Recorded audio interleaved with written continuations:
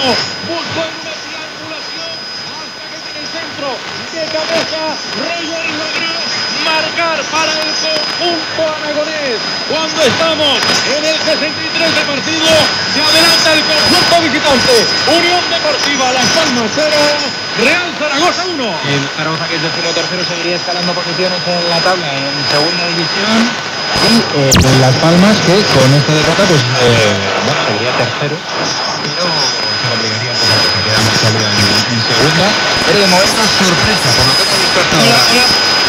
Ha vuelto a ver, entiendo. Hola Javi, muy buenas. Estamos aquí comentando el tablero el, el gol que ha habido en segunda división. Del Las Palmas, volvemos al Bernabéu. Real Madrid 3, Valladolid 0.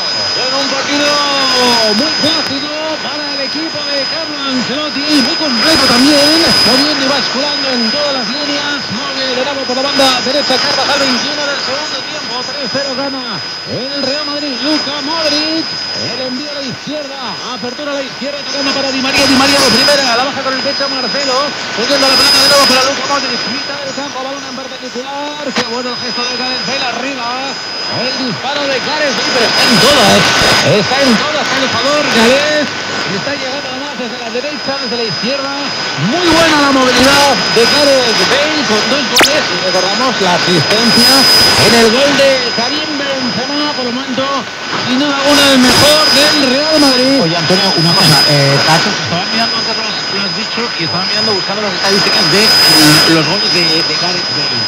Este año se está destacando como un buen goleador. El año pasado en Tottenham, en todas las competiciones hizo 30 goles, 21 en la Premier, que es la nuestra liga, ¿no?